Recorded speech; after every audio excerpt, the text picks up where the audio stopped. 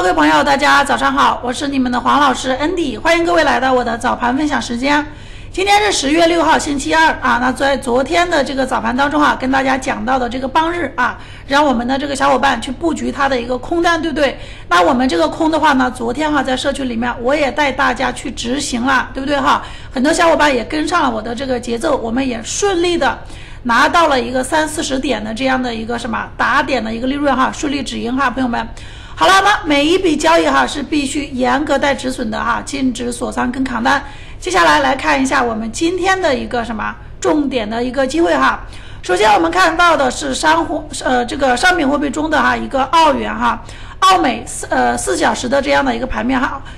我打开这个盘面哈，相信哈我们小伙伴一眼就能看出来我想要说的是一个什么样的一个结构，对不对哈？它这个结构是比较清楚的哈，就是我们经常怎么样常规去操作的一个什么打点的一个。呃，这个一个结构，对不对？那这个就是什么？我们的一个经典操作回档的一个结构，对不对？所以说今天啊，朋友们，这个空是一个不错的一个空哈。这个位置到了，我们可以怎么样？可以选择左侧哈，左侧交易哈，进在阳线上哈，朋友们去拿它一个什么震荡的一个利润哈。先看震荡哈。所以说这个止盈止损的话呢，你一眼就能看出来哈。所以说止损也不大哈，朋友们，四小时看震荡。所以说这个空也是我们今天的一个什么？重点的哈，重点的一个机会。好，除了我们商品货币的澳元之外呢，还有我们的一个美加哈，商品货币中的一个美加。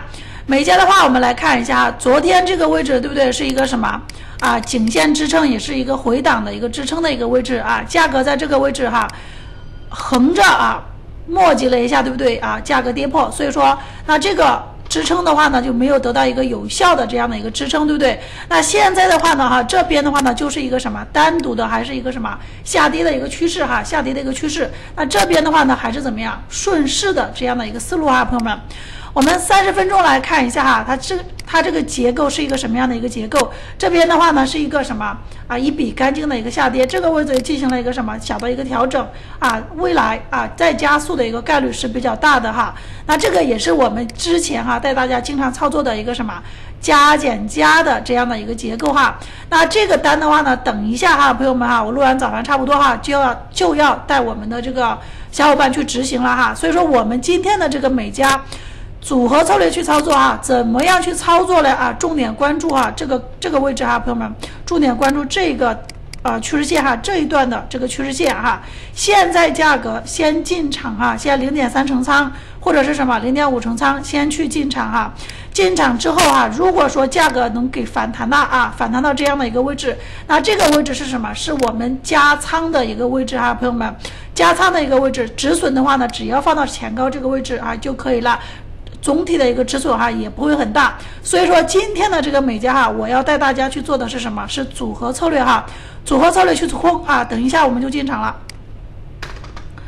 好，除了我们的一个美加之外哈，再来看一下我们的一个欧澳啊，欧澳的话呢，我们从日线级别上来看哈，也就是揉搓嘛，日线的一个揉搓，对不对？所以说今天跟明天我们仍然是看什么？看这个区间的一个震荡哈，朋友们，日线的这个区间的这个震荡。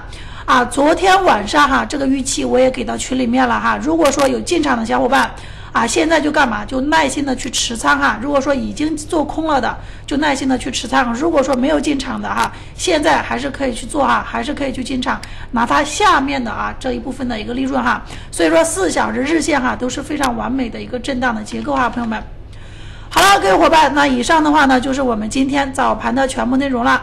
对我们阿萨社区感兴趣的朋友呢，可以扫描下方的这个呃二维码哈，将会了解更多的这样的一个赚钱的一个机会，对不对哈？成为我们的一个会员之后呢，会享受更多的一个呃高分的一个策略以及我们的一个教学服务。好，那最后的话呢哈，我也祝大家交易愉快，我们明天再见。